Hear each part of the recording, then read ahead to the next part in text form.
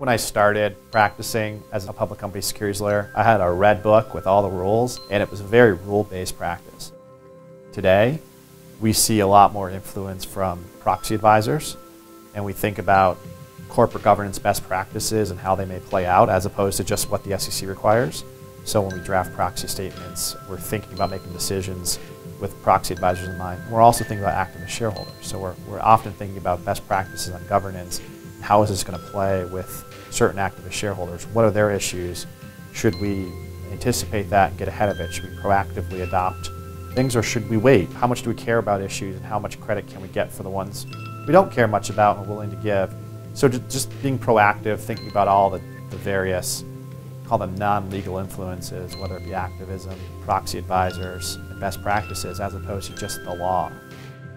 My clients come to me for judgment. At the end of the day, it's table stakes to be able to understand the SEC regulations and execute on a capital markets transaction in a technical way.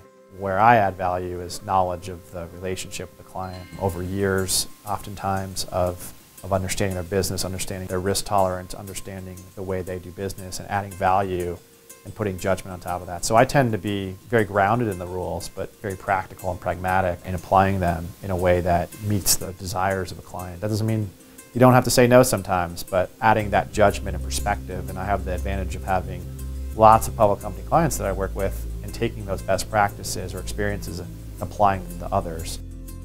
I'm really proud to represent some of the best and biggest public companies in Colorado and across the country. And knowing that a company in the Rocky Mountain region doesn't have to go to New York for their securities work, they can do it here. And likewise, companies in other parts of the country can come to Colorado and get top-notch securities and public company advice without paying the New York fee has really allowed my practice to thrive.